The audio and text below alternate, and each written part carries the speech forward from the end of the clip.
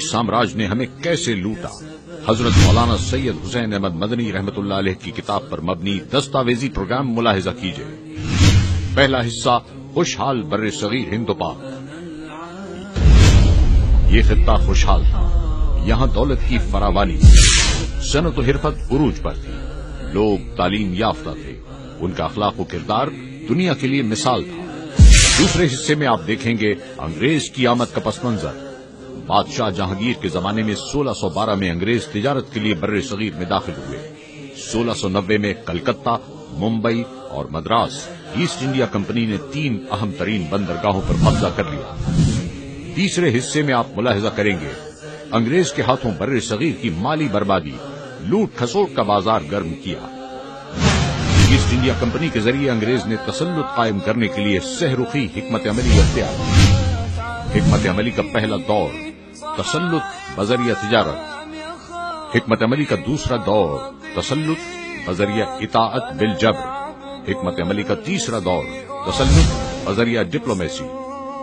اور چوتھے حصے میں دیکھیے، زرعی بربادی۔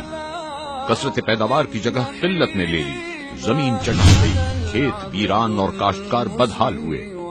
عام آبادی قحط اور گرانی کی وجہ سے کروڑوں کی تعداد میں مرنے لگی۔ ساری دنیا میں ایک ہزار سالوں کے دوران جنگوں کا جانی نقصان بر صغیر میں ایک سو پچاس سالوں میں قحط سے مرنے والوں سے بہت زیادہ تھا۔ اور پانچواں حصہ مشتمل ہے صنعتی و تجارتی بربادی کی داستان پر۔ مقامی سناؤں دستکاروں اور کاریگروں کو تباہ کر دیا۔ دستکار اور تاجر اخلاقی جرائم ڈاکہ زنی اور چوری چکاری میں مبتلا ہوئے چھٹا حصہ اخلاقی بربادی۔ انگلستان سے تمام چھٹے ہوئے بدماش اور بدکار غنڈے بر صغیر لائے جاتے انگریز کا گماشتہ بنیا لوٹتا ہے۔ ساٹھ روپے ماہوار کا ملازم بنیا تین کروڑ بیس لاکھ روپے کماتا ہے۔ ساتویں حصے میں تعلیمی بربادی کے بارے میں حقائق جانیے انگریز نے مقامیوں کی ذہانت برباد کر ڈالی۔ لارڈ نکالے کا مہلک وار نبے فیصد تعلیم یافتہ طبقے کو ایک ہی رات میں جاہل اور ان پڑھ بنا دیا۔ آٹھویں حصے میں دیکھیے منافرت کی چنگاریاں۔ تقسیم کرو، آپس میں لڑاؤ، حکومت کرو۔ اپنے مفاد اور خود غرضی کی خاطر نفاق ڈلوایا اور ایک دوسرے سے لڑایا۔ کئی مذاہب اور فرقے ایجاد کیے، کچھ تو خون کا بازار گرم کیا۔ نہیں منت کشے تابے شنی دن داستان میری۔ خاموشی گفتگو ہے۔ بے زبانی ہے زباں میری اس دستاویزی پروگرام کے لیے جتنی معلومات، حقائق اور اعداد و شمار پیش کیے گئے ہیں، وہ سارے کے سارے برٹش ریسورسز سے حاصل کیے گئے ہیں۔ پیشکش Abdul Aziz Raja Huzaifa Shahzad a presentation of ان شرح پروڈکشنز حضرت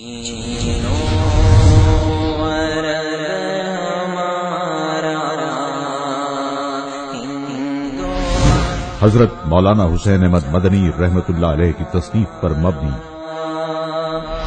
برطانوی سامراج نے ہمیں کیسے لوٹا؟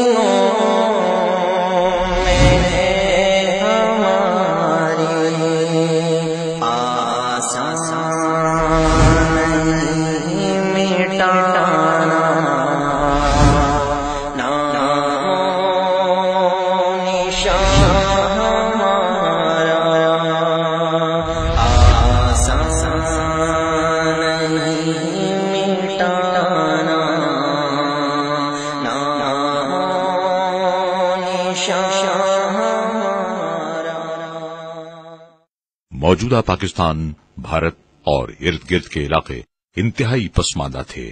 تنگ نظری اس خطے کی پہچان تھی۔ عوام باہم دست و گرے تھے۔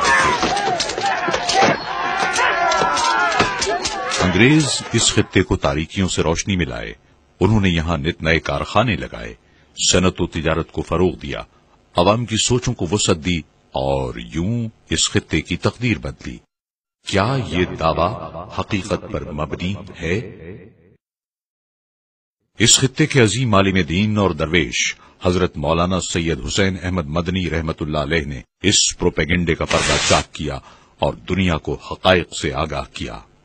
دیوبند ایک مینار نور ہے، جس کی کرنوں سے منور ہونے والوں میں حضرت مولانا سید حسین احمد مدنی رحمت اللہ علیہ بھی تھے۔ آپ شیخ الہند حضرت مولانا محمود حسن رحمت اللہ علیہ کے شاگرد خاص تھے۔ ترکی کے مسلمانوں کے لیے حق کی آواز بلند کرنے پر انہیں شیخ الہند رحمت اللہ علیہ کے ہمراہ مالٹا میں قید کیا گیا۔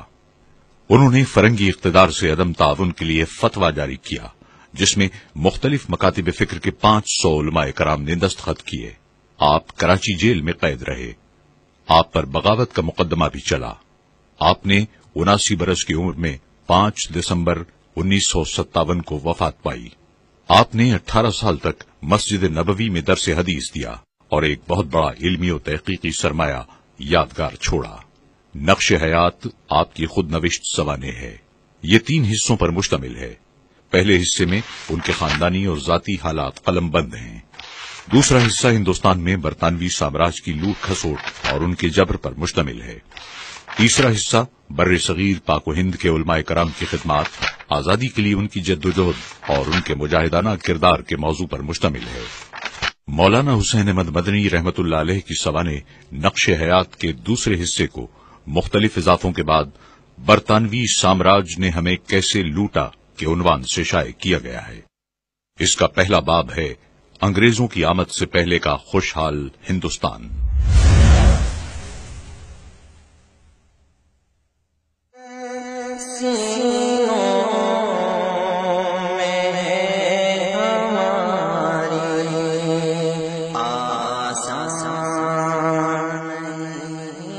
چیمبرز انسائکلوپیڈیا میں درج ہے۔ صدیوں تک ہندوستان اپنی دولت مندی کی وجہ سے مشہور رہا۔ ہسٹوریکل ریسرچ میں پروفیسر ہیرین نے لکھا، ہندوستان پرانے زمانے میں دولت کے لیے مشہور تھا اور سونے کی چڑیا کہلاتا تھا۔ ایک اور کتاب میں درج ہے، ایک زمانہ تھا جب ہندوستان کی دولت کے افسانے اقالی میں دنیا میں مشہور تھے اور کہتے ہیں کہ یہی جنس تھی جس نے ایشیا اور یورپ کی جنگجو اور عالی ہمت اقوام کو اس سرزمین کی طرف کھینچا۔ یونانی، عرب، ترک اور تاتار آئے، جو بے شمار زر و جواہر اور دیگر پیش بہا سامان لے گئے۔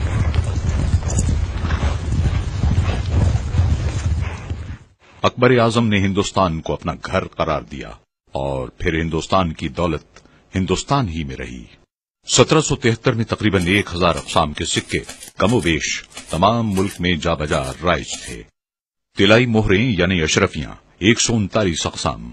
تلائی ہن جو پگوڑا بھی کہلاتے تھے، اکسٹھ اقسام۔ نقرئی روپے پانچ سو چھپن اقسام کے تھے۔ شہنشاہ اکبر کے زمانے میں سونے کے سکے موہر شاہی ایک سو دو تولے سونا، آج کل کے حساب سے ایک کلو گرام سے زائد۔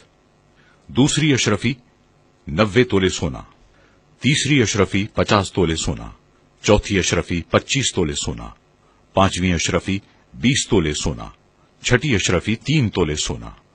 اورنگزیب عالمگیر سری رارائے سلطنت ہوا تو اس نے آگرہ اور دہلی کے خزانوں کی پڑتال کا حکم دیا۔ چنانچہ چھ ماہ تک کئی ہزار نفوس چاندی کے سکے تولنے میں مصروف رہے اور معلوم ہوا کہ شاہی خزانے کا صرف ایک کونا تولا جا سکا ہے۔ اشرفیوں اور جواہرات کی نوبت ابھی تک نہیں آئی، چنانچہ اورنگزیب فوراً اس مہم کو بند کرا کے دکن کی مہم پر چلا گیا۔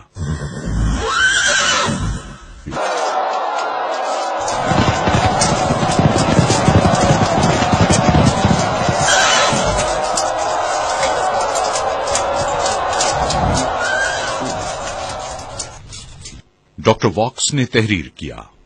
ہندوستان کی دولت تجارت اور خوشحالی نے سکندر اعظم کے دل پر گہرا اثر مرتب کیا اور جب وہ ایران سے ہندوستان کی طرف روانہ ہوا تو اس نے اپنی فوج سے کہا اب تم اس سنہرے ہندوستان کی طرف کوچ کر رہے ہو جہاں نہ ختم ہونے والے خزانے ہیں اور جو کچھ تم نے ایران میں دیکھا ہے اس کا ہندوستان کی دولت کے ساتھ کوئی مقابلہ نہیں ہے۔ مقریزی نے کتاب الخطت میں لکھا ہے شہنشاہ محمد تغلق ہر سال کپڑوں کے دو لاکھ جوڑے اور فوجیوں کے علاوہ دس ہزار گھوڑے رعایا میں تقسیم کرتے تھے۔ روزانہ بیس ہزار افراد شاہی مہمان خانے میں دو وقت کھانا کھایا کرتے تھے۔ ہر روز دو سو علماء بادشاہ کے ساتھ کھانا کھاتے تھے۔ دہلی شہر میں عام رعایا کے لیے ستر شفا خانے تھے۔ مسافروں کے لیے دو ہزار مسافر خانے بنے ہوئے تھے اور ایک ہزار مدرسے تھے۔ مغل بادشاہ جہانگیر نے اپنی خود نوشت سوانح تز کے جہانگیری میں لکھا۔ میں سال میں دو بار اپنا وزن کرتا ہوں۔ اول شروع سال شمسی میں، دوبارہ قمری میں۔ اور نق اور سامان اپنے تلنے کا الگ تحویل داروں کو دیتا ہوں کہ فقرا اور حاجت مندوں میں تقسیم کر دیں۔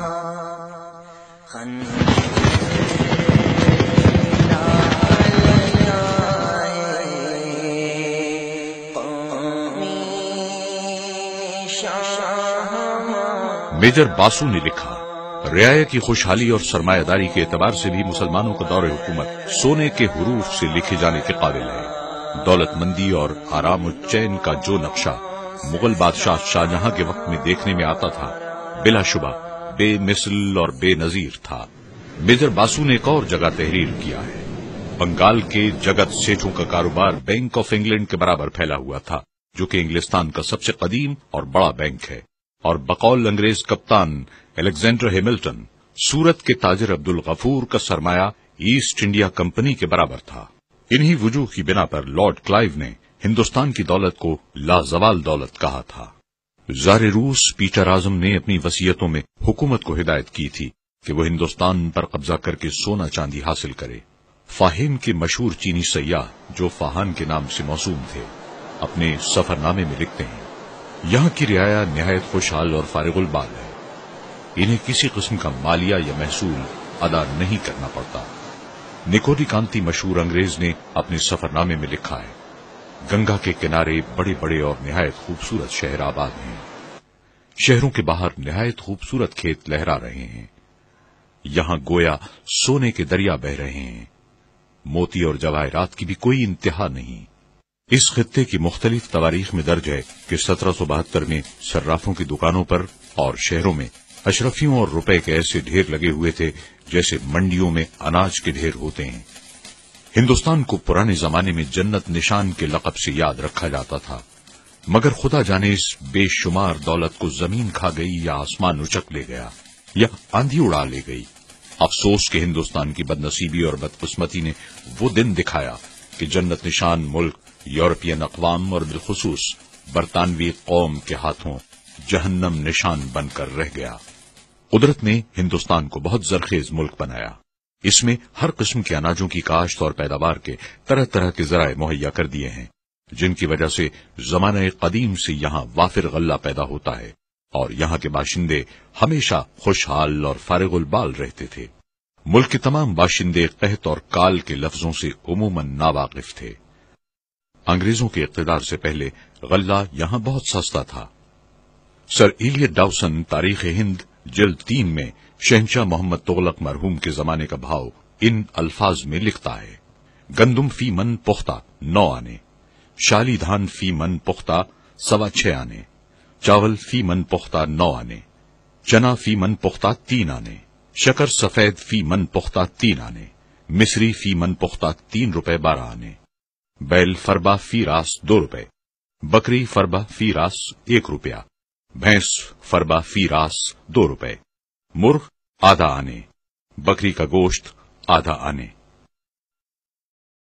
ابن بتوتا اپنے سفر نامے میں بنگال کی سیاحت کے متعلق لکھتا ہے۔ بنگال میں گرانی کے زمانے میں ایک روپے کا تین من چاول فروخت ہوتا تھا۔ روئی کا کپڑا ایک روپے میں تیس گز تک تھا۔ ایک خاندان عزت کے ساتھ پانچ روپے ماہوار میں بسر کر سکتا تھا۔ ایک سوار، میں گھوڑا، سائز اور سپاہیوں کے آگرے سے دہلی تک ایک روپے میں سفر کر سکتا تھا۔ ٹامس رائٹ جو شہنشاہ جہانگیر کے زمانے میں سولہ سو بارہ میں آیا تھا، کہتا ہے کہ ایک آنے میں ایک آدمی ایک دن نہایت آرام سے گزار سکتا تھا۔ لارڈ مکالے نے لکھا، بنگال باغ جنت یا نہایت دولت مند ملک سمجھا جاتا تھا۔ اس کی آبادی بہت زیادہ اور بے حد بڑھتی تھی۔ غلہ وافر تھا، جس سے دور دراز کے صوبہ جات بھی پرورش پاتے تھے۔ انگریز عرصہ دراز تک یہ پروپیگنڈا کرتے تھے کہ یہ خطہ زمانہ قدیم سے ایک زرعی خطہ ہے۔ لیکن یہ خطہ انگریزوں کی آمد سے قبل بھی صنعت و حرفت میں ممتاز مقام رکھتا تھا۔ انگریزوں کی جانب سے قائم کردہ انگریز ماہرین کے کمیشن کی ایک رپورٹ میں تحریر ہے۔ آج مغربی یورپ حرفت کا وطن ہے، لیکن اس زمانے میں جب وہاں غیر مہذب قبائل آباد تھے، ہندوستان اپنے حکمرانوں کی دولت اور کاریگروں کی اعلی صنعت کے لیے مشہور تھا۔ تھورنٹن نے اپنے سفر نامے میں لکھا، یہاں چاروں طرف صنعت و حرفت کے کاروبار جاری تھے۔ یہاں کے باشندے دن رات اپنے کاروبار میں مشغول رہتے تھے۔ یہاں بڑے بڑے لائق کاریگر اور سنا موجود تھے، جو یہاں کی خام پیداوار سے اتنا نفیس اور عمدہ چاول تیار کرتے تھے کہ جس کی دنیا بھر میں مانگ ہوتی تھی۔ مغرب اور مشرق کے تمام ممالک ان اشیاء کو بڑے شوق سے خریدتے تھے اور دنیا کا کوئی ملک ان کی برابری نہیں کر سکتا تھا۔ یورپ اور فرانس کی حسینائیں یہاں کا تیار کردہ لباس استعمال کرتی تھیں۔ بوچانین نے تحریر کیا، جامع بافی کی صنعت و حرفت کا ہندوستان میں اس قدر راج اور عروج تھا کہ زراعت کی مانند اس کو بھی عام ملکی پیشہ قرار دینا بے جانا ہوگا۔ کروڑوں بندگان خدا اسی پیشے پر گزر اوقات کرتے تھے۔ ادنا سے لے کر اعلی سے اعلی قسم کی روئی اور ریشم کا کپڑا یہاں پر بکثرت تیار ہوتا تھا اور مقامی استعمال کے علاوہ دور دراز ممالک تک جاتا تھا۔ ہندوستانی ململ، اطلس کمخاب جامادار چکن اور چھینٹ نفاست و خوبی میں اب تک ضرب المثل اور زما زد ہیں۔ پارچا بافی اور دیگر صنعتوں کی ترقی یافتہ حالت تو بخوبی مسلم ہے، لیکن یہ سن کر شاید تعجب ہو کہ اس زمانے کے لحاظ سے ہندوستان کے لوگ بحری جہاز سازی میں بھی خوب ہوشیار اور ماہر تھے اور جہاز سازی اور جہاز رانی ہندوستان کا قدیم پیشہ اور صنعت رہی۔ پروفیسر ولسن نے لکھا لوہا ڈھالنے کی صنعت انگلستان میں صرف چند سالوں سے ہے، جبکہ ہندوستانی لوہا ڈھالنے اور سپاٹ فولاد بنانے کا کام نامعلوم زمانے سے جانتے ہیں۔ سولہ سو ستر میں ایک انگریز نے ایسٹ انڈیا کمپنی کے ڈائریکٹر کو لکھا، پرانے اور بہترین قسم کے ساگوان یہاں بکثرت موجود ہیں۔ بہترین لوہا بھی وافر دستیاب ہے اور کاریگر ہر قسم کے بولٹ، کیل اور لنگر وغیرہ بناتے ہیں۔ یہاں کے لوہے کو بڑی مہارت سے تیار کر کے مضبوط جہاز تیار کیے جاتے ہیں۔ اٹھارہویں صدی کے اواخر میں لارڈ ویزلی نے کمپنی ڈائریکٹر کو لکھا کلکتے کی بندرگاہ میں دس ہزار ٹن کے قریب جہاز موجود ہیں جو ہندوستان میں تیار ہوتے ہیں اور ان میں انگلستان کو مال بھیجا جا سکتا ہے۔ ایک انگریز مورخ ٹیلر کا بیان ہے۔ ہندوستان کا مال لے کر جب ہندوستانی جہاز لندن کی بندرگاہ میں پہنچے تو ان جہازوں کو دیکھ کر سنسنی پھیل گئی۔ گویا کے دریائے ٹیمز میں کسی دشمن کا جنگی بیڑا گھس آیا ہے۔ انگلستان کی جہاز سازی کی صنعت کے کرتا دھرتا لوگوں نے دہائی دی۔ خدا کے لیے ان ہندوستانی جہازوں کو ہمارے پانیوں میں آنے سے روکو۔ ان کی پرشک و سخت مضبوط کی کیپیسٹی کو دیکھ کر کوئی شخص بھی انگریزی جہازوں کو بار برداری کے لیے استعمال نہیں کرے گا۔ ہماری نسلیں فاقوں کا شکار ہو جائیں گی۔ انگلستانی جہازوں کی صنعت بے موت مر جائے گی۔ یہ ہندوستانی جہازوں کا مقابلہ نہیں کر سکتے۔ اور پھر حکم شاہی کے مطابق ہندوستانی جہازوں سے بار برداری کو روک دیا گیا۔ ہندوستان قدیم زمانے سے روحانی پیشواؤں کا مرکز رہا ہے اور انہی کا اثر تھا کہ انگریزوں کے عروج تک یہاں کے عام باشندوں کا اخلاق اور کردار اعلی اقدار کا حامل تھا۔ مغل بادشاہ جہانگیر کے دور میں انگریز سفیر تھامس پرو یہاں آئے۔ وہ ہندوستان کی تہذیب و تمدن کو دیکھ کر دنگ رہ گئے۔ انہوں نے کہا، یہاں ہر شخص میں مہمان نوازی اور خیرات کرنے کا جذبہ کوٹ کوٹ کر بھرا ہوا ہے۔ اور سب سے زیادہ یہ کہ صنف نازک پر زیادہ سے زیادہ اعتماد کیا جاتا ہے۔ اس کی عزت، عصمت اور عفت کا لحاظ رکھا جاتا ہے۔ یہ ایسے اوصاف ہیں جن کے ہوتے ہوئے ہم اس قوم کو غیر مہذب اور غیر متمدن نہیں کہہ سکتے۔ اور ایسی صفات کی موجودگی میں ہندوستان کو یورپی اقوام سے کسی طرح کم تر قرار نہیں دیا جا سکتا۔ اگر ہندوستان اور انگلستان کے درمیان تہذیب و تمدن کی تجارت کی جائے، تو مجھے کامل یقین ہے کہ ہندوستان سے تمدن کی جو کچھ درامد انگلستان میں ہوگی، اس سے انگریزوں کو بہت فائدہ پہنچے گا۔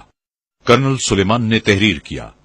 میرے تجربے میں سینکڑوں مثالیں ایسی آ چکی ہیں کہ ایک آدمی کی دولت، آزادی اور زندگی جھوٹ بولنے سے بچ سکتی تھی، مگر وہ جھوٹ ہی نہ بولا۔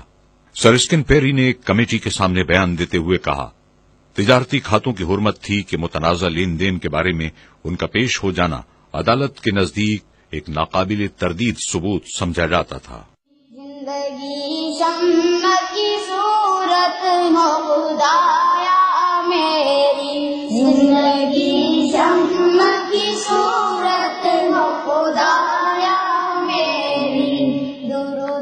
عام طور پر یہی سمجھا جاتا ہے کہ اس خطے میں تعلیم کا فروغ انگریزوں ہی نے شروع کیا۔ لیکن یہ درست نہیں۔ کئی کتابوں میں درج ہے کہ ہندوستان میں انگریزوں کی آمد سے پہلے تعلیم یافتہ افراد کی تعداد بعد کے زمانے سے کہیں زیادہ تھی۔ ہندوستان میں ابتدائی تعلیم ہی نہیں بلکہ اعلیٰ تعلیم بھی مفت تھی۔ بادشاہوں، نوجوانوں، عمرہ اور اہل سروت کی طرف سے جائیدادیں تعلیمی مصارف کے لیے وقف کر دی گئی تھی صوبہ بنگال میں صوبے کا چوتھائی حصہ اسی کے لیے وقف تھا۔ علامہ مقریزی نے کتاب الخطت میں لکھا ہے چودہویں صدی عیسوی میں محمد تغلق کے دور میں صرف دہلی شہر میں ایک ہزار مدرسے تھے۔ کیپٹن الیگزینڈر ہیملٹن مغل بادشاہ اورنگزیب عالمگیر کے دور میں سولہ سو ننانوے میں اس خطے میں آئے تھے۔ انہوں نے اپنے سفر نامے میں لکھا، صرف ٹھٹا شہر میں مختلف علوم و فنون کے چار سو کالج تھے۔ کیئر ہارڈی نے میکس مولر کے حوالے سے تحریر کیا ہے۔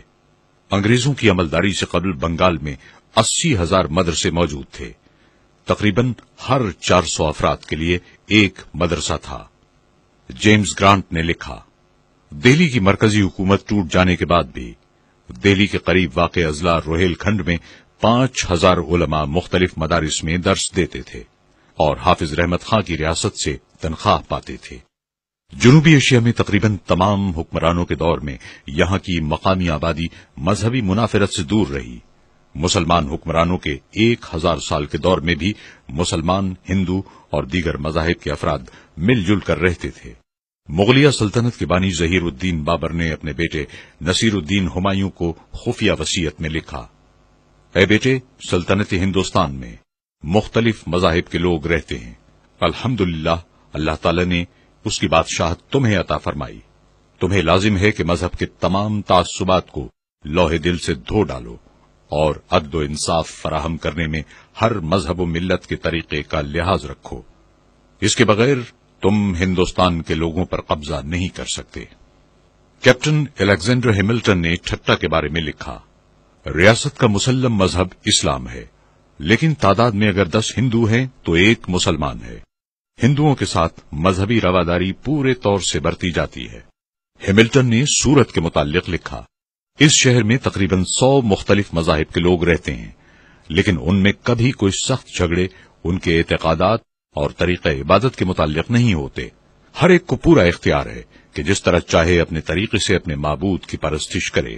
صرف اختلاف مذہب کی بنیاد پر کسی کو تکلیف دینا اور آزار پہنچانا ان لوگوں میں بالکل مفقود ہے۔ ہندوستان کے viceroy lord William Bentinck نے اٹھارہ سو بیاسی میں ایسٹ انڈیا کمپنی کے سامنے بیان دیتے ہوئے کہا، بہت سی باتوں میں اسلامی حکومتیں انگریزی راج سے کہیں بہتر تھیں۔ وہ ہندوستانی باشندوں میں گھل مل گئے، ان میں شادی بیاہ کرنے لگے۔ مسلمانوں نے ہندوستانی قوموں کو ہر قسم کے حقوق دیے۔ فاتح اور مفتوح کے مذاق، دلچسپی اور ہمدردی میں یکسانیت تھی۔ کوئی فرق نہ تھا، جبکہ انگریز کی پالیسی اس کے برعکس ہے۔ اب سرد مہری، خود غرضی اور بے پرواہی ہے، جس میں ایک طرف حکومت کا آہنی پنجا حکمران ہے اور دوسری طرف ہر چیز پر ان کا قبضہ ہے اور مقامی ہندوستانی کا کوئی دخل نہیں ہے۔ پہلے حصے میں ہمیں ان حقائق کا علم ہوا۔ انگریزوں کی آمد سے پہلے یہ خطہ خوشحال تھا۔ یہاں دولت کی فراوانی تھی۔ صرف حکمران ہی نہیں، عوام بھی خاص دولت مند تھے۔ دنیا کے کئی فاتحین، بادشاہوں اور خود انگریزوں نے دولت اور وسائل کے سبب اس خطے کا رخ کیا۔ یہ خطہ اپنی زرعی پیداوار کے لیے پوری دنیا میں مشہور تھا۔ یہاں کے لوگ قحط اور کال کے الفاظ سے ناشنا تھے۔ خود انگریز مورخین کے مطابق یہ خطہ صنعت و عرفت میں اس دور کی ترقی یافتہ یورپین اقوام سے کسی طرح کم نہیں تھا۔ ہندوستان کی بحری جہاز سازی کی صنعت انتہائی عروج پر تھی۔ یہاں کے باشندوں کا اخلاق و کردار پوری دنیا کے لیے مثال تھا۔ اس خطے میں جگہ جگہ تعلیمی ادارے موجود تھے جہاں عام تعلیم ہی نہیں، بلکہ اعلیٰ تعلیم بھی مفت دی جاتی تھی۔ یہاں کے باشندے مختلف مذاہب سے تعلق رکھنے کے باوجود امن و چین سے رہتے تھے۔ انگریزی عروج اور اقتدار سے پہلے یہ ملک نہایت ارزاں اور سستا تھا۔ اس میں اناج اور تمام ضروریات زندگی بالخصوص خورد و نوش کی اشیاء کی نہایت سے زیادہ کثرت اور ارزانی تھی۔ یہاں کے باشندے نہایت چین اور آرام کی زندگی بسر کرتے تھے۔ مگر بقول شاعر چلی سمت غیب سے ایک ہوا کے چمن سرور کا جل گیا۔ چلی سمت غیب سے ایک ہوا کہ چمن سرور کا جل گیا۔ مگر ایک شاخ نحال غم جسے دل کہیں وہ ہری گئی۔ دوسرے حصے میں آپ جانیں گے بر صغیر میں انگریزوں کی آمد کا پس منظر۔ اولو الازمی اور جہاز رانی میں پرتگال والے یورپ بھر میں سب سے بڑے ہوئے تھے۔ مشہور جہاز راں واسکو ڈے گاما چودہ سو اٹھانوے عیسوی میں ساحلی بندرگاہ کالیکٹ پہنچا۔ وہاں کے راجا زمورن نے شاہ پرتگال کو کہلا بھیجا۔ میرے ملک میں دارچینی، لونگ، کالی مرچ اور ادرک کثرت سے ہوتے ہیں۔ میں تمہارے ملک سے سونا، چاندی اور قرمزی مخمل چاہتا ہوں۔ پندرہ سو عیسوی سے سولہ سو تک بر صغیر کی تجارت پرتگیزوں کے ہاتھ میں رہی۔ یورپ کی باقی قوموں نے پرتگیزوں کی موج اور مزہ دیکھا تو ان کی راز بھی ٹپکی۔ بس ہالینڈ، انگلستان، فرانس ڈینمارک جرمنی اور سویڈن کے تاجروں نے اپنے جہاز بھیجنا شروع کیے۔ مگر کچھ کامیابی ہوئی تو صرف ہالینڈ، انگلستان اور فرانس والوں کو۔ اکیس ستمبر سولہ سو عیسوی میں شاہی منشور کے ذریعے ایسٹ انڈیا کمپنی کو بلا شرکت غیرے، مشرقی تجارت کا باضابطہ اجارہ مل گیا۔ انگریزوں نے سولہ سو بارہ عیسوی میں پہلے مغربی ساحل کے شہر سورت میں کاروبار شروع کیا۔ یہ بادشاہ جہانگیر کا زمانہ تھا۔ کمپنی نے جن رعایات کی بارگاہ سلطانی میں استدا کی، وہ بخوشی عطا کی گئی سولہ سو سولہ میں کمپنی نے مشرقی ساحل سولی پٹم میں کارخانہ کھولا۔ سولہ سو چالیس میں مدراس کے راجا سے زمین حاصل کر کے قلعہ تعمیر کرایا۔ سولہ سو چونتیس میں بادشاہ شاہجہاں سے بنگال میں تجارت کی اجازت حاصل کی۔ سولہ سو چالیس عیسوی میں ہگلی کے مقام پر کارخانہ قائم ہوا، جو سولہ سو نوے میں کلکتہ منتقل ہوا اور اسی کے باعث موجودہ ممبئی آباد ہوا۔ اس طرح بر صغیر کی تینوں بندرگاہیں، کلکتہ، ممبئی اور مدراس، ایسٹ انڈیا کمپنی کے ہاتھ میں آ گئی انگریز کے ہاتھوں بر صغیر کی مالی بربادی گزشتہ چار صدیوں کی تاریخ کا سب سے بڑا سبق یہ ہے کہ بر صغیر کے فرما رواؤں کی بے جا رعایت اور بے محل اعتماد نے اس پورے خطے کو آنکھوں دیکھتے ہاتھوں سے نکالا۔ دوسروں کے لیے خیر اندیشی اپنے حق میں سخت عاقبت نا اندیشی ثابت ہوئی۔ چاہیے تو یہ تھا کہ انگریز ممنون اور احسان مند ہوتے۔ تہذیب و شرافت، عدل و انصاف، مروت و اخلاق کا تقاضا پورا کرتے اور شکر گزاری کے ساتھ اپنی جائز تجارت میں مشغول رہتے۔ مگر انہوں نے شروع ہی سے ناجائز فائدہ اٹھایا۔ اپنی جبلی بربریت جال سازیوں چالاکیوں اور غداریوں کو کام ملا کر لوٹ کھسوٹ کا بازار گرم رکھا۔ بر صغیر کی دولت مندی ایک کہانی بن کر رہ گئی اور بر صغیر ہند و پاک۔ تمام دنیا میں سب سے زیادہ غریب، فاقہ زدہ اور کنگال ملک بن گیا۔ یہ سلسلہ ابتدائی تجارت سے لے کر آخری ایام حکومت کے تین سو برس سے زائد عرصے تک برابر جاری رہا۔ مگر ان کے دلوں میں ذرا بھی رحم دلی پیدا نہ ہوئی اور مقامیوں کی بے چارگی اور مصیبتوں کا ذرہ برابر خیال بھی نہیں آیا۔ سر ولیم ڈگبی، ممبر پارلیمنٹ، اپنی کتاب پراسپرس برٹش انڈیا میں انگریزی ادوار کا نقشہ کھینچتے ہوئے لکھتا ہے، اور جو غیر معمولی غربت ہندوستان بر اعظم میں پھیل رہی ہے۔ وہ ہمارے اس طرز حکومت کا نتیجہ ہے جو نیک نیتی سے، مگر غلطی سے پہلے شروع کی گئی اور اب تک بحال رکھی گئی۔ وہ اصول حکومت تین اقسام کے ہیں۔ اول، تسلط، بذریعہ تجارت یعنی بر صغیر کی دولت، اعلانیہ اور ننگے طور پر سمیٹنا۔ دوم، تسلط، بذریعہ اطاعت بل جبر یعنی بر صغیر صرف انگلینڈ کے لیے ہے۔ اور سوم تسلط بذریعہ خوش معاملگی کا دکھلاوا یعنی زور کے ساتھ ہندوستانی قوم کو ادنا حالت میں لازمی طور پر قائم رکھنا۔ سر ولیم ڈگبی کے مطابق ایسٹ انڈیا کمپنی کے تین ادوار میں تین اصول حکومت اپنائے گئے۔ پہلا دور، سولہ سو آٹھ تا سترہ سو ستاون، تسلط بذریعہ تجارت۔ دوسرا دور، سترہ سو ستاون تا اٹھارہ سو بتیس، تسلط بذریعہ اطاعت بل جبر تیسرا دور، اٹھارہ سو بتیس تا انیس سو ایک۔ تسلط، بذریعہ خوش معاملگی کا دکھلاوا۔ کمپنی کے ڈائریکٹروں کی ایک یادداشت میں لکھا ہے، ہمارے خیال میں یہ بڑی دولت جو ہم نے ہندوستانی تجارت سے حاصل کی ہے، ظالمانہ اور جابرانہ دستور العمل سے مہیا ہوئی ہے۔ ایسا دستور العمل جس کی نظیر نہ کسی ملک میں ملتی ہے اور نہ کسی زمانے میں ملے گی۔ وہ کمپنی جس کا ابتدائی سرمایہ سولہ سو ایک عیسوی میں کل تیس ہزار پاؤنڈ تھا، جو لندن کے سو تاجروں نے مل کر اکٹھا کیا تھا، تقریباً ساٹھ برس تجارت کے بعد۔ اس قدر دولت مند ہو جاتی ہے کہ وہ شاہ انگلستان کو تین تا چار لاکھ پاؤنڈ نذرانہ پیش کرتی ہے۔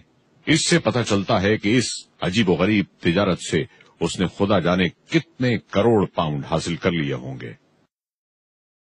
حالانکہ اس زمانے میں اسے ہالینڈ، ڈچ فرانسیسیوں، پرتگیزوں اور جرمنوں سے بھی مقابلہ کرنا پڑا۔ کمپنی جرائم پیشہ، ڈاکو، قاتل، چور، جالساز، بدماش اور غیر شریف لوگوں کو ملازم رکھتی، جو جابرانہ لوٹ کھسوٹ کر سکیں۔ جب حکومت انگلستان نے کمپنی کو سر ایڈورڈ مائیکل بوردن کو بھرتی کرنے کے لیے کہا، تو ایک عجیب ریزولوشن کی نقل بھیجی گئی، جس کا مطلب یہ تھا، کسی ذمہ داری کے کام پر جینٹل مین کو نہ رکھا جائے۔ اور گورنمنٹ سے درخواست کی جائے کہ ہمیں اپنے کاروبار کے لیے اپنے ہی قسم کے لوگوں کا انتخاب کرنے کی چھوٹ دی جائے۔ کہیں ایسا نہ ہو کہ شرافا کو نوکر رکھنے سے کمپنی کے عوام الناس حصے دار شبہ میں پڑ کر روپیہ واپس لینے لگے۔ کمپنی کی تنخواہیں بہت کم تھیں۔ ان تنخواہوں پر بھلے مانس اور شریف لوگوں کی بجائے نکمے، شریر اور جرائم پیشہ لوگ جن کو انگلینڈ میں روٹی ملنا مشکل تھی، وہ ہندوستان کے لیے ٹوٹ پڑے۔ اور یہاں ہر طریقے سے روپیہ بنانے کے لیے ہر قسم کے مظالم اور ویشیانہ کارروائیاں بے تحاشا جاری کی۔ نواب کرناٹک نے کمپنی ڈائریکٹرز کو لکھا، آپ کے نوکروں کا کوئی کاروبار تو ہے نہیں، نہ آپ انہیں معقول تنخواہ دیتے ہیں، پھر بھی چند ہی سال میں وہ کئی کئی لاکھ شرفیاں کما کر واپس جاتے ہیں۔ اتنی قلیل مدت میں بغیر کسی ظاہری ذرائع کے یہ بے حساب کمائی کہاں سے آتی ہے؟ ہم اور آپ دونوں سمجھ سکتے ہیں۔ وارن ہیسٹنگز نے لکھا، ہندوستان میں انگریز جرائم کرتے ہیں۔ جرائم کے جواز کے لیے انگریز ہونا کافی ہے اور اس کو سزا کا خیال تک نہیں آ سکتا۔ ان کے روپیہ کمانے کے مختلف طریقے تھے۔ ان میں ایک قرضہ دینا بھی تھا۔ مگر جس نوعیت کے یہ قرض ہوتے تھے، ان کی نظیر دنیا میں ملنا مشکل ہے۔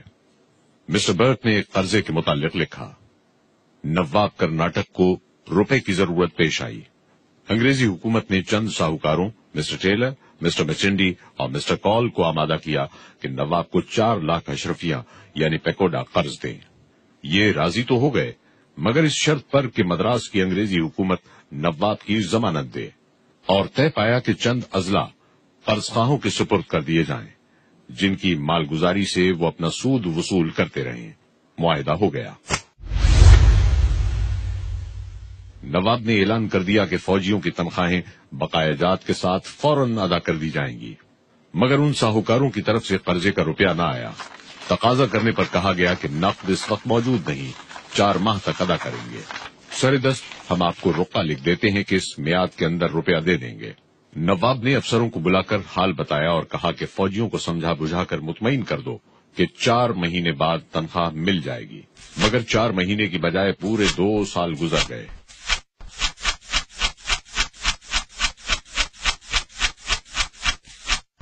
اور فوجیوں کو تنخواہ نہ ملی، بلکہ دو سال کی تنخواہ مزید ادا کرنا پڑی۔ اس پر ترا یہ کہ ساہوکاروں کی اس قدر نادہندگی کے باوجود نواب کی ریاست کی مال گزاری قرضے کے سود میں اسی دن سے جس دن یہ رقہ لکھا گیا تھا، جانے لگی۔ اور انہوں نے اضلاع کی مال گزاری وصول کرنا شروع کر دی۔ غالباً یہ دنیا میں ایک ہی مثال ہوگی کہ روپے کی ادائیگی سے پہلے ہی قرض خواہوں کو جائیداد پر قبضہ مل جائے۔ اور اس سے وہ اپنے سود کا روپیہ وصول کرنا شروع کر دیں اور پھر الٹا قرض داروں کے نام غیر ادا شدہ رقم کا رقا لکھیں اور قبضہ شدہ جائیداد سے رقم وصول کر کے دو سال کے بعد قرض داروں کو روپیہ دیں۔ ہے ناجیب معاملہ۔ نہ دیکھا، نہ سنا۔ یہی وہ کیمیا بنانے کے نسخے تھے جن سے تھوڑے ہی دنوں میں انگریز اور انگلستان مالا مال ہونے لگا۔ بہرحال، سترہ سو ستاون عیسوی تک کمپنی کا یہ شرافت اور انسانیت سوز طریقہ تجارت جابرانہ اور ظالمانہ طور پر جاری رہا، جس سے نہایت عظیم الشان دولت بر صغیر سے چوس لی گئی۔ سترہ سو ستاون عیسوی سے دوسرا دور شروع ہوتا ہے، جس کی ابتدا جنگ بنگال یعنی نواب سراج الدولہ کی پلاسی کی لڑائی سے ہوئی۔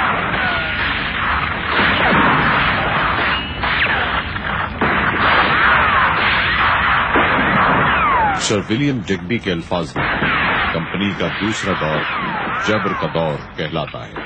تسلط، بذریعہ اطاعت بل جبر ہندوستان انگلینڈ کے لیے ہے۔ سترہ سو ستاون عیسوی سے اٹھارہ سو بتیس تک آغاز سے انجام تک کی تفصیل نہایت گرد انگیز دہشت ناک اور طویل ہے۔ کلکتے میں بیٹھ کر انگریزوں نے میر صادق اور امی چند کے ساتھ مل کر سازش کا تانا بانا بنا۔ اور نواب سراج الدولہ کے خلاف جنگ چھیڑ دی گئی۔ صرف چار گھنٹوں میں جنگ ختم ہو گئی اور وسیع و شاداب ملک کی قسمت کا فیصلہ انگریز کے حق میں ہو گیا۔ اور انگریز نے جنگ پلاسی فوجی قوت کی بجائے فریب، نمک حرامی دغا بازی اور سازش کے بلبوتے پر جیتی۔ فورٹ ولیم میں سونے کا میہ برسنے لگا۔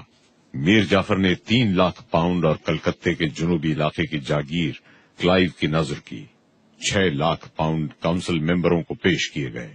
تاوان جنگ وصول کرنے کے لیے چوبیس پرگنا کا علاقہ، کمپنی کی جاگیر ٹھہری اور عام لوٹ مار کا بازار بھی گرم کیا گیا۔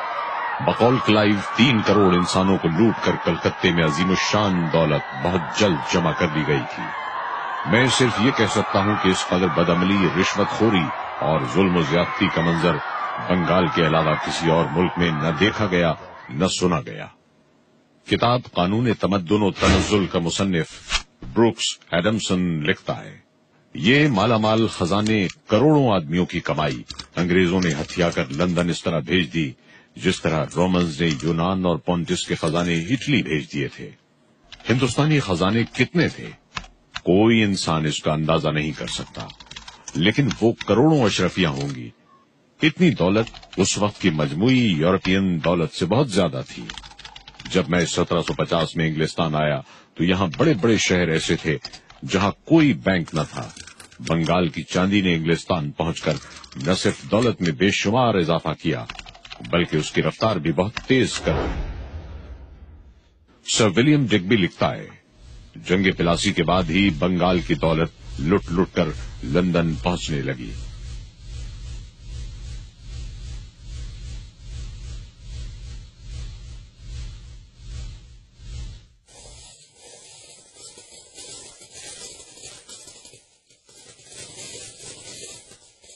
بقول بینز لنکا شاعر میں سوت کاٹنے کے سادہ چرخے تھے۔ بہت سی ایجادات صدیوں سے دبی پڑی تھیں۔ جب انہیں کام میں لانے کی قوت یعنی روپیہ مل گیا، تو سترہ سو ساٹھ عیسوی کا صنعتی انقلاب شروع ہو گیا۔ صنعت و حرفت میں انگلستان کی برتری کرناٹک اور بنگال کے خزانوں کا فیض ہے۔ جنگ پلاسی میں فتح کے بعد سونے کا دریا انگلستان کی طرف بہنا شروع ہو گیا۔ ہماری صنعت و حرفت کا بازار ٹھنڈا تھا۔ سوت کاتنے اور کپڑا بننے میں لنکا شاعر کو ہندوستان پر کوئی فوقیت حاصل نہ تھی۔ بر صغیر کی دستکاری جس نے ہندوستانی کپڑے کو سنائی کا شاہکار بنا رکھا تھا۔ لنکا شاعر تو کیا پورے مغرب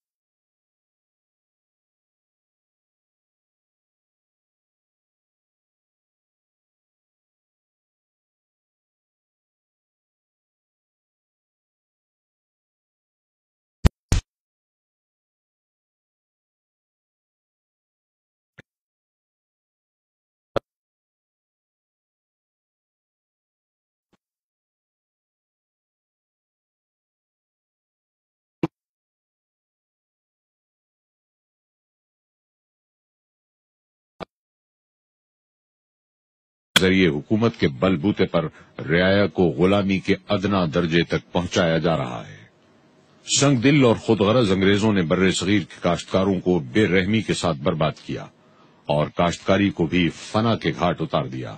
لگان کے بھاری بوجھ اور وصولی کے انتہائی جابرانہ طریقے سے خائف کسان ہر سال زمین جوتتا اور زمین کو لگاتار بوتا ہے، جس کی وجہ سے زمین انتہائی درج کمزور اور پیداوار میں نہایت کمی ہو گئی۔ ہندوستان میں پیداوار کا اوسط فی ایکڑ زمین دوسرے ممالک کے مقابلے میں ملاحظہ ہو۔ چاول کی پیداوار، ملک اسپین پیداوار فی ایکڑ، باسٹھ اشاریہ نو من، رقبہ کاشت چھ ہزار نو سو ایکڑ۔ اٹلی تینتالیس من، رقبہ کاشت ایک لاکھ سینتیس ہزار پانچ سو ایکڑ۔ ہندوستان، چودہ اشاریہ نو من، رقبہ کاشت تین کروڑ چھبیس لاکھ سات ہزار اکیانوے ایکڑ۔ گندم کی پیداوار، بیلجیم چھبیس من فی ایکڑ، برطانیہ بائیس من فی ایکڑ، ہندوستان آٹھ من فی ایکڑ۔ انگریزوں کا ملون اقتدار آیا تو حالت پلٹنا شروع ہو گئی۔ کثرت پیداوار کی جگہ قلت نے لے لی۔ ارزانی کی بجائے گرانی اور آسودگی کی بجائے فرسودگی ظاہر ہونے لگی۔ عام آبادی قحط اور گرانی کی وجہ سے لاکھوں بلکہ کروڑوں کی تعداد میں مرنے لگی۔ خاص کلکتہ جو انگریزی اقتدار کا گڑھ تھا، اس میں مہنگائی کا اندازہ لگائیے کہ سترہ سو اڑتیس عیسوی میں ایک روپے میں دو من تیس سیر گندم یا چاول ملتا تھا اور سرسوں کا تیل بارہ سیر ملتا تھا۔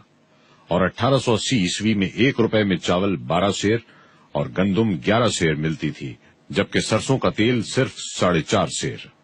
مہنگائی کے کئی اسباب میں ایک سبب یہ بھی تھا کہ بر صغیر سے غلہ نہایت فراوانی اور کثرت کے ساتھ جہازوں میں بھر بھر کر انگلستان اور دیگر ممالک بھیجا گیا۔ رائل ایگریکلچر سوسائٹی کی رپورٹ میں درج ہے کہ اٹھارہ سو تراسی میں گیارہ کروڑ چھیاسی لاکھ تراسی ہزار سات سو دس من گندم ہندوستان سے باہر بھیجی گئی۔ یعنی اٹھارہ سو تراسی میں ہر گزرنے والے منٹ میں دو سو انتیس من گندم بر صغیر سے نکالی گئی۔ سرکاری اعداد و شمار کے مطابق فی منٹ چاول ایک سو اٹھارہ من، گندم پینسٹھ من، ارہر کی دال پچاس من مسور کی دال پچپن من مونگ پھلی پچپن من بھیجی گئی۔ برامدات کے انیس سو تیرہ کے اعداد و شمار۔ چاول آٹھ کروڑ چھہتر لاکھ من، گندم تین کروڑ پچاس لاکھ من، کپاس ڈیڑھ کروڑ من، پچسن سوا دو کروڑ من، چائے چھتیس لاکھ من سے زائد۔ پنڈت دیا شنکر دوبے کے مطابق، انیس سو اٹھارہ تا انیس میں چاول کی برامد چھپن کروڑ پچاس لاکھ من بنتی ہے۔ یہ سارے اعداد و شمار سرکاری ہیں۔ اور ظاہر ہے کہ یہ زیادہ تو ہو نہیں سکتے۔ ہاں کم ہونے کے قوی امکانات موجود ہیں۔ بہرحال یہ اعداد و شمار بھی کچھ کم نہیں۔ اس قدر اناج نکل جانے سے جو تباہی، فاقہ اور گرانی بر صغیر میں آ سکتی تھی، وہ محتاج بیان نہیں۔ چنانچہ ہندوستان دنیا بھر کے ملکوں میں سب سے زیادہ مفلس ہو گیا۔ آمدن کا تناسب بھی سب سے کم ہو گیا۔ اور ان کی زندگی دنیا بھر کے فاقہ مستوں کے مقابلے میں سب سے زیادہ اجیرن بن گئی۔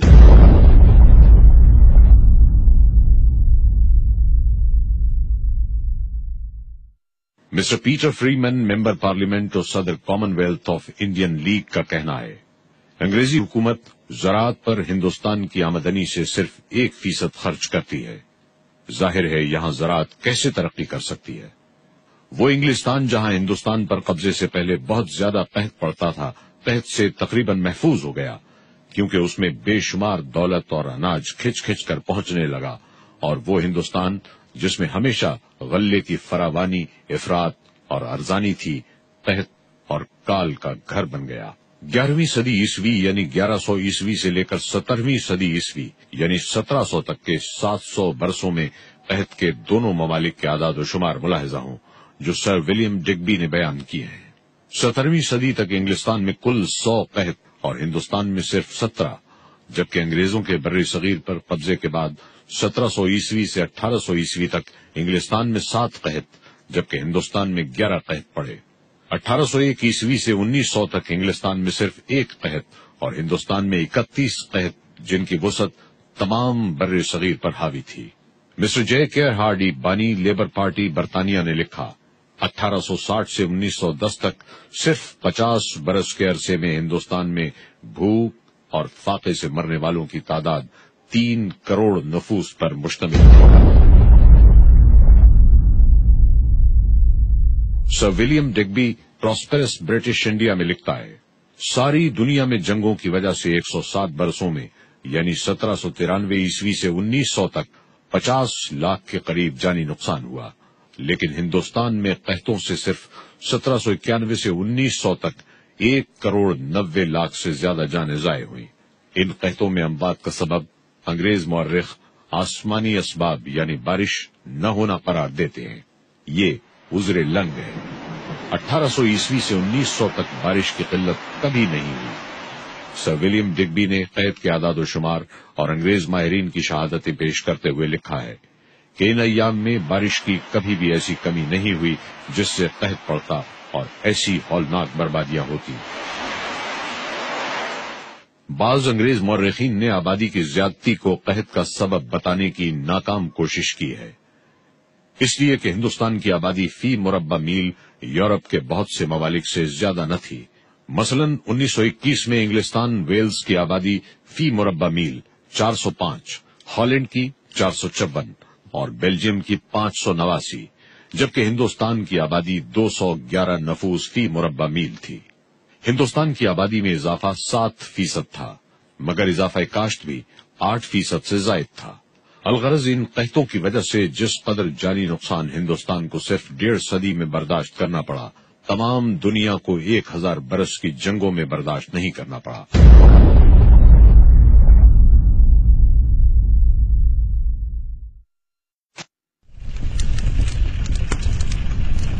انگریز کے ہاتھوں صنعتی و تجارتی بربادی۔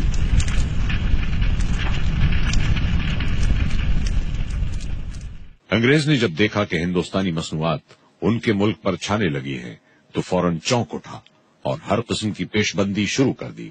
سترہ مارچ سترہ سو انہتر کو ایسٹ انڈیا کمپنی کے ڈائریکٹروں نے اپنے اعلی عہدیداروں کو بنگال میں خط بھیجا۔ بنگال میں خام ریشم کی پیداوار بڑھانے کی ہر طرح کوشش کی جائے۔ اور ساتھ ہی ریشمی کپڑوں کی بنائی روکی جائے تاکہ خام ریشم انگلستان آئے اور یہاں سے کپڑا بن کر ہندوستان جائے۔ مقامی کپڑا بننے والوں کو کمپنی کے کارخانوں میں کام کرنے پر مجبور کیا جائے، انہیں اپنے طور پر کام کرنے سے روکا جائے۔ اس خط کی تعریف کرتے ہوئے دارالعوام کی ایک منتخب کمیٹی کی رپورٹ، جو سترہ سو تراسی میں شائع ہوئی، ملاحظہ کیجیے اس خط میں ہندوستانی پیداوار، خام مال کی ترقی اور مصنوعات کی تیاری کو روکنے کے لیے جو پالیسی صاف صاف بیان کی گئی ہے، اس سے مقامی صنعت کو ضرور صدمہ پہنچے گا۔ اور اگر اس پر صحیح عمل ہوا تو ہندوستان جیسے صنعت و حرفت والے ملک میں ایسا انقلاب رونما ہوگا کہ وہ صنعت و حرفت بھول کر صرف نری خام پیداوار والا ملک بن جائے گا۔ اور یہ خام پیداوار انگلستان کی مصنوعات میں کام آئے گی۔ عمدہ اثر تو ظاہر ہو چکا ہے۔ ریشم بننے والے آپ کی کمپنی کے کارخانوں میں کام کرنے لگے ہیں۔ اور اگر وہ لوگ اپنے طور پر خود کام کرنا چاہیں تو ان کو روکا جائے۔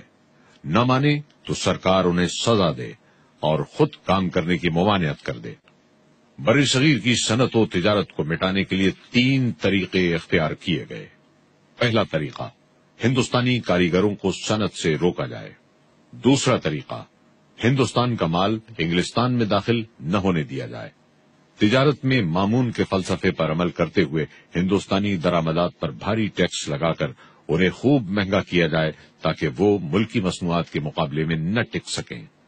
تیسرا طریقہ، انگلستان کی مصنوعات کو ہندوستان کی منڈیوں اور بازاروں میں ٹھوسا جائے اور اتنا سستا کر دیا جائے کہ ہندوستان کی صنعت گھٹنے ٹیک کر فنا ہو جائے۔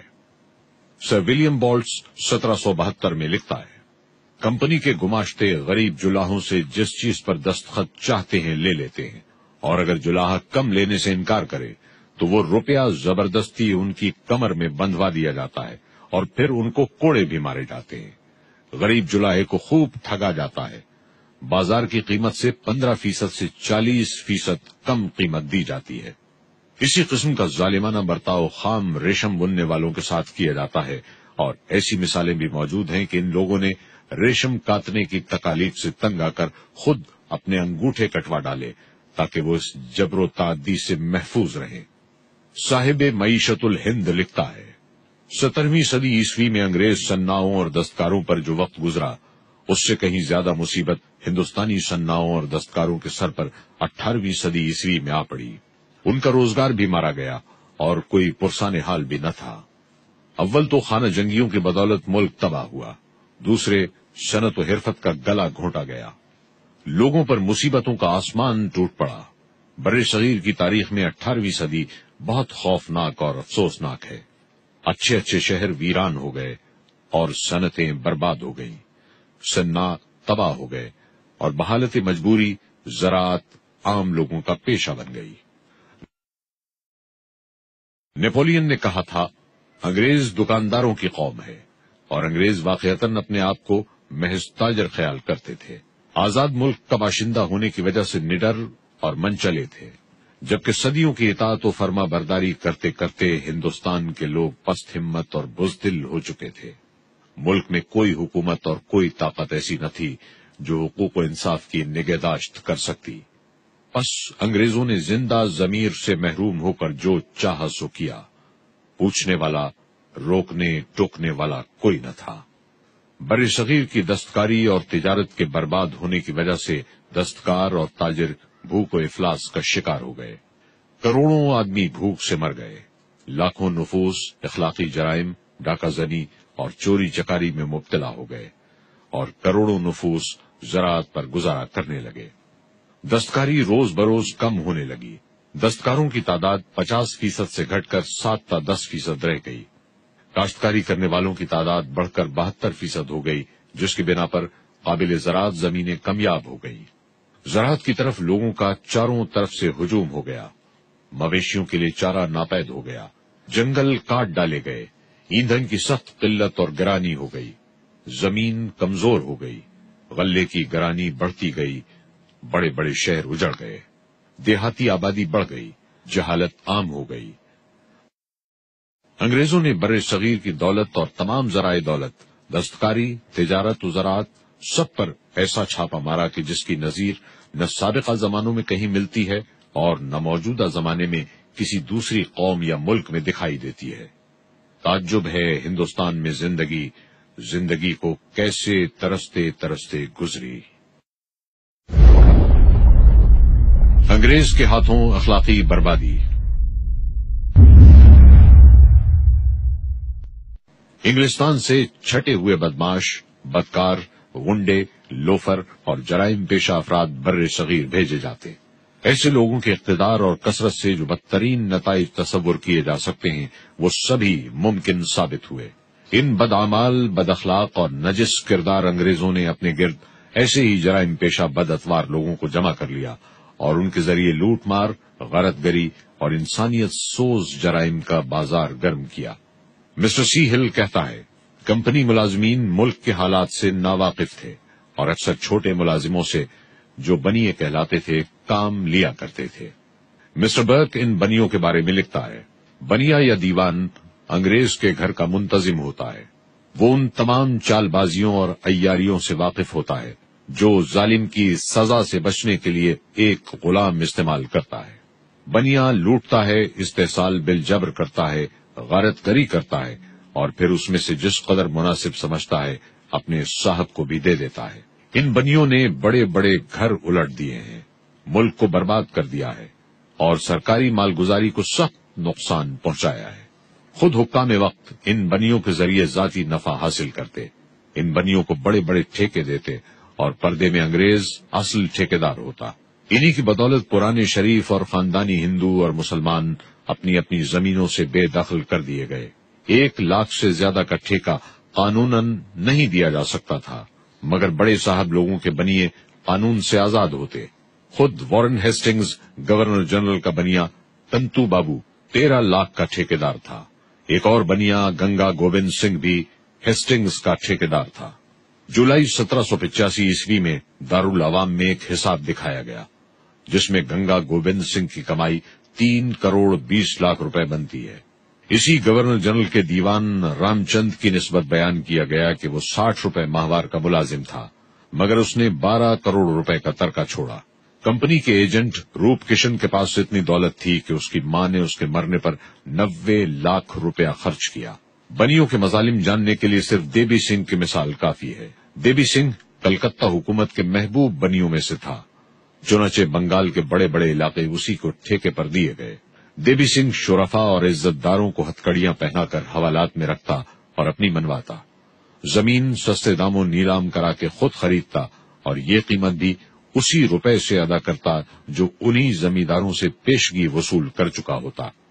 ایسی بدامالیاں کرنے سے ملک کی سروت اور دولت تو برباد ہونی ہی تھی۔ ان لوگوں کے اخلاق اور اعمال بھی بہت زیادہ بگڑ گئے جو انگریزوں کے حاشیہ نشیں اور کارکن تھے۔ وہ انگریزوں کی حمایت حاصل کر کے منمانی کارروائیاں کرتے۔ عام باشندوں پر اس کا اثر یہ پڑتا کہ جو عادتیں اور اخلاق پہلے برے سمجھے جاتے، ان کی برائی دلوں سے جاتی رہی۔ اسی لیے عام طور پر جال سازی، بد اخلاقی اور ظلم و ستم پھیل گیا۔ جان بچانے اور دنیاوی زندگی سنبھالنے کے لیے لوگ ہر قسم کے جرائم اختیار کرنے پر مجبور ہو گئے اور ان اخلاق و عادات میں مبتلا ہو گئے جو شرافت انسانی کے لیے ننگو آ رہے وہ چوری کرنے اچکے پن کو عمل میں لانے، ڈاکے ڈالنے، قتل کرنے، ٹھگی اور دھوکے بازی کرنے، بے حیائی اور فواہش کرنے کرانے میں لگ گئے۔ اعلی ملازمت کے دروازے بند کر کے مقامی باشندوں کو ذلت و افلاس کے گڑھوں میں دھکیل دیا گیا۔ تمام بڑے عہدوں پر انگریزوں کو مقرر کیا گیا اور تمام ذمہ دار عہدوں سے ہندوستانیوں کو ہٹا دیا گیا۔ چھوٹے عہدوں پر مسلمانوں کو نکال کر ہندوؤں کو رکھا گیا۔ کیونکہ وہ انگریزوں کی پوری چاپلوسی کرتے تھے اور انگریزوں کی خواہشات پوری کرنے کے لیے کسی بھی قسم کی بدعملی سے دریغ نہیں کرتے تھے اور مسلمان، ہندو، سکھ، عیسائی کی کوئی تمیز نہیں رکھتے تھے۔ سر جان سولومن اپنی کتاب میں لکھتا ہے، ملک کے تمام ذمہ دار عہدوں سے ہندوستانیوں کو نکال دینے کا قدرتی نتیجہ یہ ہوا کہ اعلی انتظامی قابلیت کے نشو و نما کے مواقع جاتے رہے۔ اور جو قابلیت ان میں تھی، رفتہ رفتہ زائل ہوتی گئی۔ اس کے ساتھ مالی بدحالی نے ان کے کردار کو اس درجہ گرا دیا جس پر مظلوم اور محکوم قومیں پہنچ جاتی ہیں۔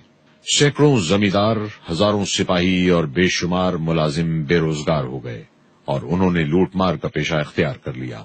چنانچہ ناگپور سے لے کر خلیج بنگال تک تیئیس ہزار ڈکیت لوٹ مار کرتے پھرتے تھے۔ جنہوں نے اٹھارہ سو انیس کے موسم سرما میں صرف دس دنوں میں ایک سو بیاسی قتل کیے، پانچ سو زخمی کیے اور تین ہزار کو طرح طرح کی ایزائیں دیں اور تقریباً ایک کروڑ کا مال لے اڑے۔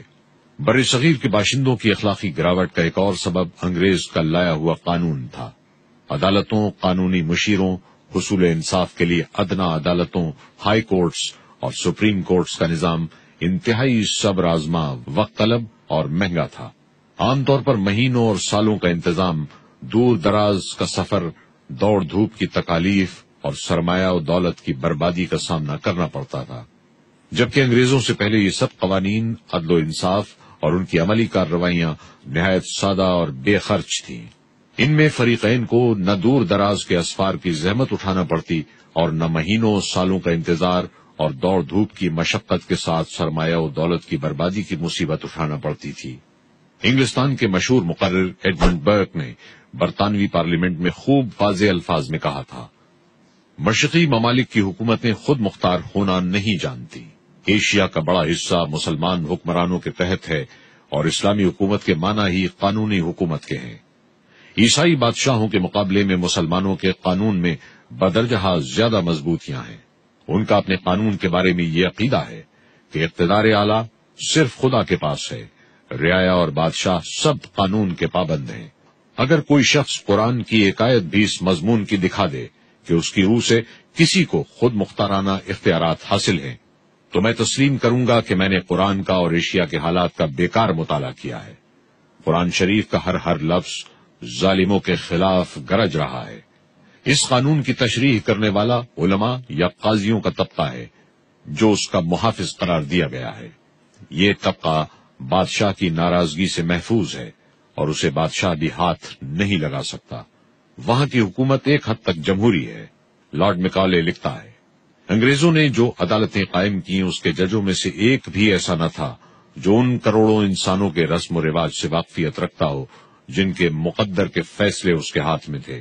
مقدمات کی مثلیں اس رسم الخط میں لکھی جاتی جس سے مقامی باشندے سراسر نہ آشنا تھے۔ فیصلے اس زبان میں لکھے جاتے جو ان کی سمجھ سے باہر تھی۔ عدالتوں کے گرد ہندوستانی آبادی کے بدترین لوگ جمع ہو گئے تھے، جو چغل خور جھوٹے گواہ، مقدمہ باز اور دغا باز تھے۔ انگریزی مشیران قانون جس صورت کے ساتھ پورے ملک میں پھیلے، اس صورت کے ساتھ تو حملہ آور بھی نہ پھیلے تھے۔ خلاصہ یہ کہ ان عدالتوں اور ان کے قوانین سے ہندوستانیوں کے اخلاق و عمل پر نہایت ہی زہریلا اثر پڑا۔ ان کے اخلاق حد درجہ گرتے چلے گئے اور ہر طرف بد اخلاقیوں اور بد امالیوں کا دور دورہ ہو گیا۔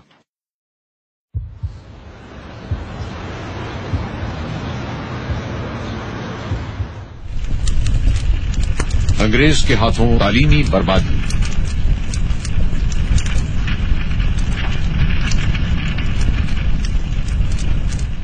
انگریزوں کو یہ خطرہ لاحق ہوا کہ تعلیم یافتہ لوگوں کی کثرت رہی۔ تو ہم حکومت نہ کر سکیں گے۔ اس لیے انہوں نے تعلیم گاہوں کو ملیا میٹ اور تعلیم کو نیست و نابود کر دیا۔ تعلیم کے لیے تمام وقف جائیدادوں کو اٹھارہ سو اڑتیس میں سرکاری قبضے میں لے لیا۔ بنگال کے کل رقبے کا چوتھائی حصہ تعلیم کے لیے وقف تھا، وہ ہڑپ کر لیا گیا تاکہ تعلیم کا ڈھانچہ جس بنیاد پر کھڑا ہے، وہی ختم کر دی جائے۔ تھوڑے ہی عرصے میں جب تعلیم گاہیں ختم ہو گئیں اور نئے تعلیمی ادارے نہ قائم ہو سکے اور پرانے تعلیم یافتہ لوگ آہستہ آہستہ وفات پا گئے، تو چاروں طرف ہندوستان میں جہالت کا دور دورہ ہو گیا۔ اٹھارہ سو تیئیس میں برطانیہ کے معززین لارڈ ایلفنسٹن اور لارڈ ایف وارڈن نے ایک متفقہ یادداشت حکومت کو پیش کی۔ انصاف یہ ہے کہ ہم نے دیسیوں کی ذہانت کے چشمے خشک کر دیے ہیں۔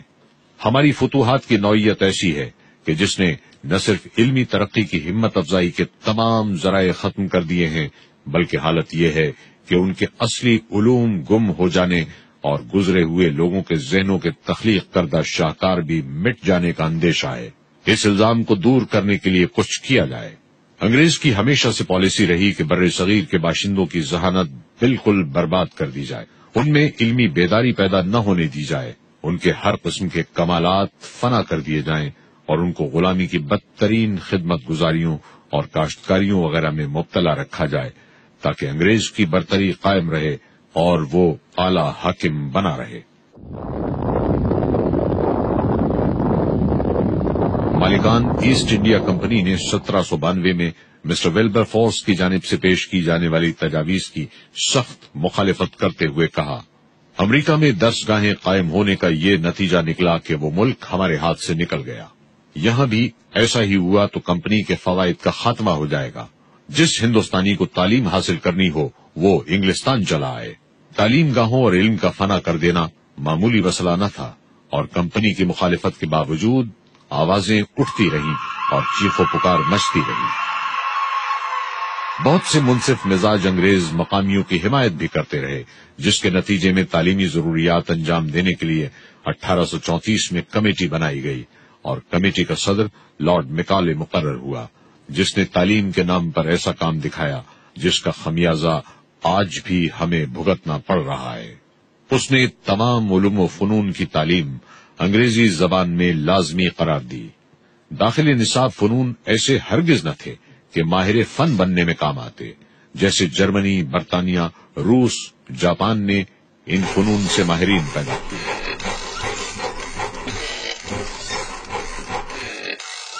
نصاب میں ایسی کتب شامل تھیں جو لا مذہب اور بے دین بنا سکیں۔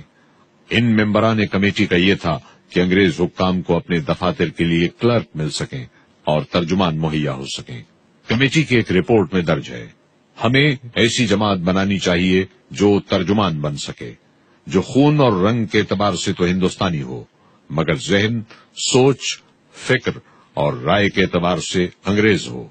اس تمام تعلیمی جد و جہد کے مظاہروں، کمیشنوں، کمیٹیوں اور اسکیموں کے اعلانات کے باوجود پینتیس برس بعد مردم شماری میں خواندہ لوگوں کا شمار صرف تین اشاریہ دو فیصد تھا اور یہ خواندگی اردو، انگریزی، فارسی وغیرہ کسی بھی زبان کی تھی۔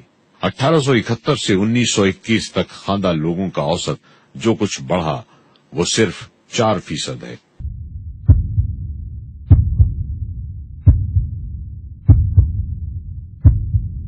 انگریز نے ہندوستان میں تعلیم کی مد میں ایسی مشکلات اور پیچیدگیاں پیدا کی جن کی بنا پر یہ ملک انتہائی جہالت میں پھنس کر رہ گیا۔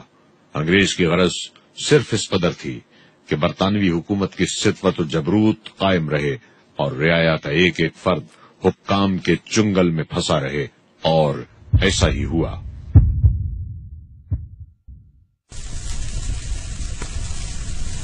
منافرت کی چنگاریاں۔ ہمدردی، انسانیت اور خدمت خلق کا دعویٰ کرنے والے انگریزوں کی شر انگیز پالیسی کی اصل تصویر دیکھیے۔ پھر قواریت اور منافرت کی چنگاریاں سلگانے اور ان کو ہوا دینے والی انگریز قوم کا اصل چہرہ دیکھیے۔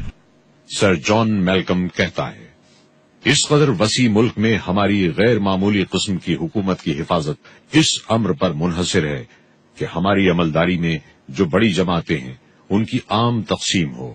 اور پھر ہر جماعت کے ٹکڑے مختلف ذاتوں، فرقوں اور قوموں میں ہوں۔ جب تک یہ لوگ الگ الگ بٹے رہیں گے، اس وقت تک کوئی بغاوت اٹھ کر ہماری قوم کے استحکام کو متزلزل نہیں کر سکے گی۔ لارڈ ایلفنسٹن گورنر ممبئی، چودہ مئی اٹھارہ سو انسٹھ میں ایک یادداشت میں لکھتا ہے، نفاق ڈال کر حکومت رومیو کا اصول تھا اور یہی اصول ہمارا بھی ہونا چاہیے۔ اس سے پہلے کارنیٹیکس نے اٹھارہ سو اکیس میں لکھا تھا، لڑاؤ اور حکومت کرو۔ رومن کا مقولہ، ہماری حکومت کا اصول ہونا چاہیے۔ انگریزوں نے اپنے مفاد اور خود غرضی کے لیے مختلف تدبیروں سے نفاق ڈلوایا اور آپس میں ایک دوسرے کو لڑایا۔ کبھی ایک جماعت پر دست شفقت رکھا اور کبھی دوسری پر۔ اسی طرح ایک ہی مذہب میں کئی کئی فرقے ایجاد کروا کر مذہبی کشت و خون کی صورتیں پیدا کی ایڈورڈ ٹامسن اپنی کتاب میں اقرار کرتا ہے۔ ہندوستانیوں میں نا اتفاقی اور اختلاف کو زندہ رکھنا عرصہ قدیم سے ہمارے سیاستدانوں کا مرغوب مشغلہ بنا ہوا ہے۔ اور واقعی یہی صحیح ہے۔ انگریز بر صغیر کے تمام باشندوں کے دشمن رہے، لیکن مسلمانوں کو وہ اپنا اصل دشمن سمجھتے تھے۔ اس لیے کہ بر صغیر انہوں نے مسلمانوں ہی سے چھینا تھا، اور مسلمانوں کو سیاسی ہی نہیں بلکہ دماغی قوت سمجھتے تھے۔ چنانچہ انہوں نے مسلمانوں کو ہدف بنا کر برباد کرنا شروع کر دیا۔ انگریزوں نے مسلمانوں پر حکومت کے دروازے بند کر دیے۔ اعلی سیاسی، فوجی، عدالتی اور انتظامی عہدوں سے الگ کر دیا۔ جائیدادیں ضبط کر ڈالی۔ اوقاف برباد کر دیے گئے۔ تعلیم چھین لی۔ تجارت، صنعت اور زراعت برباد کر ڈالی۔ اخلاق بھی تباہ کر ڈالے اور اپنے ساتھ ہندوؤں کو ملا کر مسلمانوں کا ناطقہ بند کر دیا۔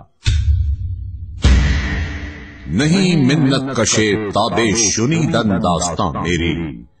خاموشی گفتگو ہے۔ بے زبانی ہے زباں میری۔